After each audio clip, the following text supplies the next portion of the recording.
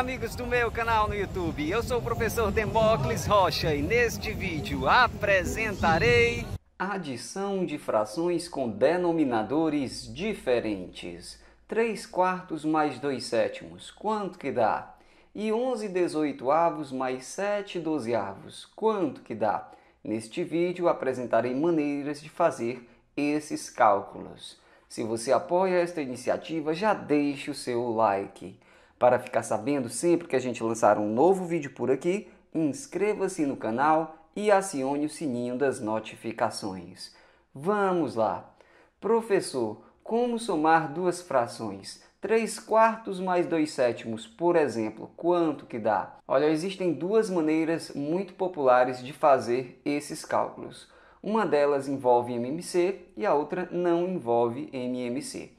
Este primeiro exemplo aqui eu vou fazer sem calcular o MMC dos denominadores, sem calcular o menor múltiplo comum a 4 e 7. Como é que a gente faz, professor, sem calcular o MMC?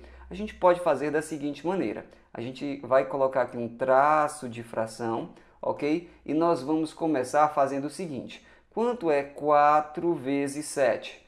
Professor, 4 vezes 7 é 28. Beleza, é 28, então escrevo 28 bem aqui. E agora, professor, quanto é 3 vezes 7? Professor, 3 vezes 7 é 21. Ótimo, então anoto 21 bem aqui. Estamos adicionando, então vou colocar um sinalzinho de mais bem aqui.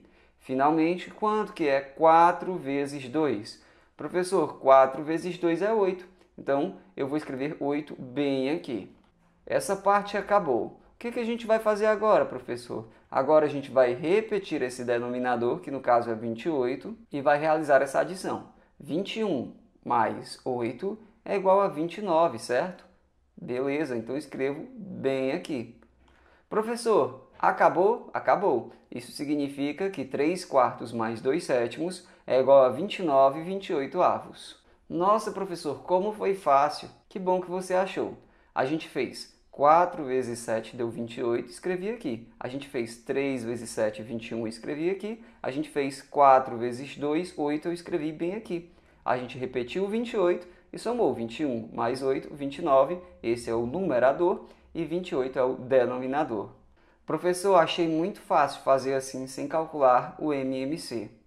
Realmente fazer dessa maneira é muito fácil e principalmente quando os números são pequenos porque aí as multiplicações a gente pode realizar tranquilamente com cálculo mental. Já sei onde você quer chegar, professor. Quando os números são um pouco maiores, talvez seja melhor saber fazer com MMC, né? Exatamente, porque, por exemplo, talvez tu não saiba quanto é 28 vezes 12 com cálculo mental, ou 11 vezes 12, ou 18 vezes 7. É, professor, realmente eu não sei.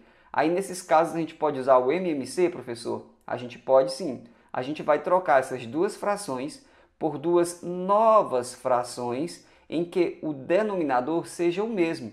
E esse denominador pode ser usado justamente como MMC dos denominadores diferentes que a gente tem aqui. No caso, a gente tem 18 e 12, a gente pode fazer o MMC desses dois números. Vamos fazer ali no cantinho. Você já sabe calcular MMC. O MMC de 18 e 12 é o número 36. O que, que isso significa mesmo, hein, professor? Isso significa que 36 é um múltiplo de 18 e 36 também é um múltiplo de 12. Mais do que isso, 36 é o menor número natural não nulo, que é um múltiplo de 18 e também de 12. Se você prestar atenção, 36 é um múltiplo mesmo de 18, ele é duas vezes 18. E 36 é um múltiplo de 12 mesmo, ele é 3 vezes 12. Beleza, professor? Então quer dizer que o número 36 vai ser usado como denominador de duas novas frações equivalentes às frações que a gente já tinha, né? Exatamente. E como é que vai ser isso, professor? Da seguinte maneira. No caso da primeira fração, o 18 se transformou em 36. A gente pode imaginar que ele foi multiplicado por 2. Então, para descobrir o novo numerador, basta eu multiplicar por 2 também.